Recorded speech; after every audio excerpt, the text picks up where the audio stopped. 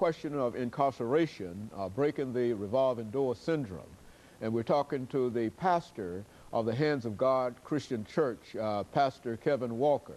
And of course, uh, Pastor Walker, I think we talked, uh, uh, we promised you that we'd give you an opportunity mm -hmm. To uh, talk about an earlier ministry okay. that we know that you've been involved in and, and, and been quite successful. And I mm -hmm. want to try to at least get that in okay. before we talk about the, your outreach ministry. Sure.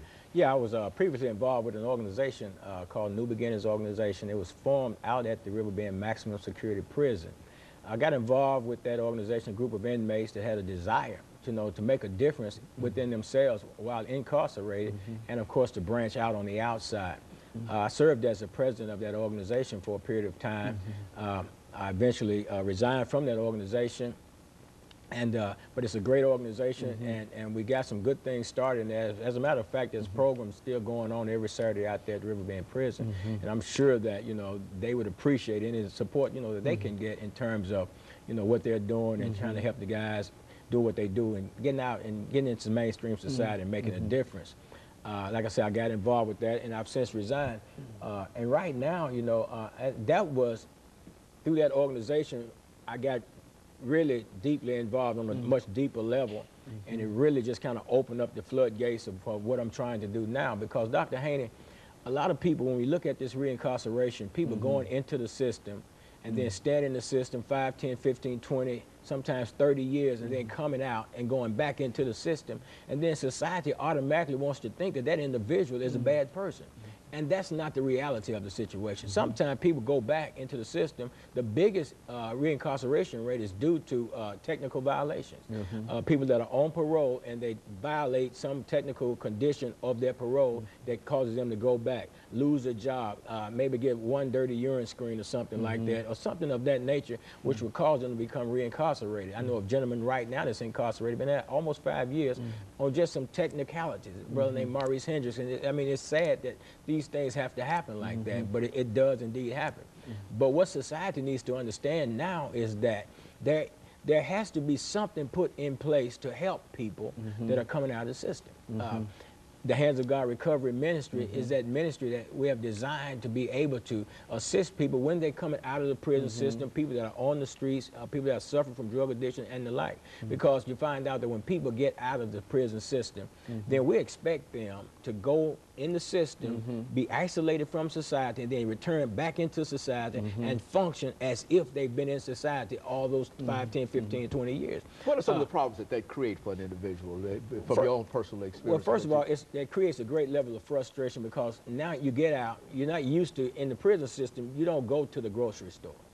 So you don't know what the scanners are. You don't. You don't know. You don't experience walking up and down the store and picking from the shelves the things that you need. You don't experience going to restaurants, sitting down and eating, and, and the waitress coming. So you, you you you're introduced to a whole new different world. But people might say, well, this was going on before they went in. Mm-hmm. But you take a guy that's been in, in prison, Dr. Haney, for 10, 15, 20 years. I mm. mean, things change from week to week around here. You mm. buy a computer this year, you need to upgrade it in, in a couple of years from now. Mm -hmm. And that's just an indication of how things change. You know, you walk out, then you got the job market. 1st mm -hmm. of all, you're an ex, you're an ex-offender. Mm -hmm. You got drug charges, murder charges, whatever you have, but you're an ex-offender. And nobody wants to have the ex-offender, but the parole officer is saying, get a job, get a job, get a job, or I'll violate you. And then they're out there frustrated, trying to get a job, trying to get a job with, the, with this cloud of, this violation cloud hanging over their head. So now I can't find a job. Nobody wants to hire me. I don't mm -hmm. have the mm-hmm. money to start my own business. So now what do I do? Mm -hmm. I know how to be a criminal mm -hmm. because that's what I've done all my life, pretty much. Mm-hmm. So what I do, I revert back to that old behavior, and then I'm reincarcerated again because mm-hmm. basically I've thrown up my hand because society is not helping me. You know, and there's so many issues. Uh, for example, Dr. Haney, I got out of prison in 1981. Mm -hmm. uh, the last time I had a criminal conviction was in 1983, and I reminded the Mayor mm -hmm. Bill Purcell about that a couple of three weeks ago mm -hmm. because he was the last attorney in the public defender's office that record, uh, represented me on, on, the, on the charge. Mm-hmm. And I reminded him, but I got out after serving my time. Uh, I got out of the prison system, but I'm not considered as a citizen. Mm-hmm. I'm pastoring a church. I, I mean, I'm doing I'm doing the things that I'm supposed to do. I'm trying to reach out and help people, but yet I'm not really considered as a citizen in this country mm -hmm. because I have that that criminal background. Uh, a lot of guys that are in prison. I, fortunately, I, I got into I got in that window where you could register to vote while I was in prison, and I've been able to do that. But what about the people now that can't vote? So they've, they've stopped that, uh, uh, the ability for people to uh, register while they're in, in Absolutely. incarcerated now. Absolutely. See, and, and it, it's, it has come in, it has gone out, and if there's a group here in town now that's, that's trying to do some things in terms of getting voting rights restored to people coming out, to ex-offenders. Because, I mean, we have, I mean, if I'm out and I'm gainfully employed, I'm doing what I'm supposed to do, then I should, have, I should be able to have a voice. I should not, you take an individual, he's 18 years old, he does a crime, uh, he gets a two-year sentence, and then he's out. Mm-hmm. But he's, in essence, he's got a life sentence because mm-hmm. now he's branded for the rest of his life. He mm-hmm. can't vote. A lot of people won't hire him, and now he's he's caught up in this web. And now he's like, what do I do?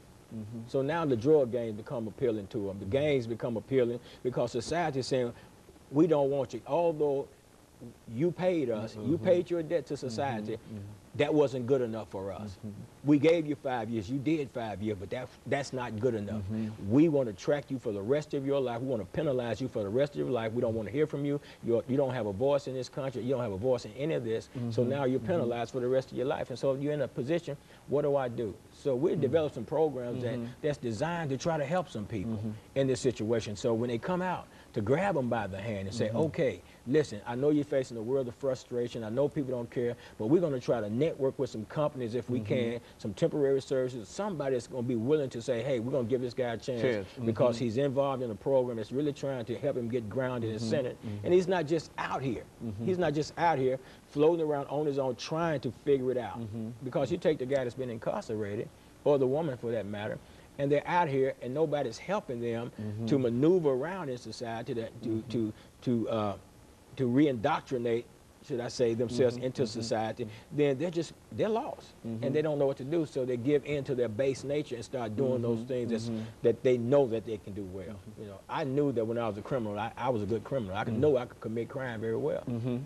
And so what we're saying here, uh, and, and I guess this is, uh, we've got a couple of minutes before our second commercial break. So what we're saying here is that it's very, very difficult for individuals to get out of, uh, uh of the system and go out and find a job, even though many employers might give at least lip service to the fact that they, uh, they don't have any problems dealing, but, but it's almost a, a life sentence, as you indicated. So uh, when we come back, what I want you to do is to talk to uh, the young people, because uh, I think that in order to uh, break the revolving door syndrome, you got to break the fact of young people, uh, of people going to jail in a real sense, because it, it, it seems that after, and of course, uh, let's have this uh, second commercial break, after which we'll come back and uh, give you an opportunity to do that. We'll be back with our audience following. We're talking to Pastor Walker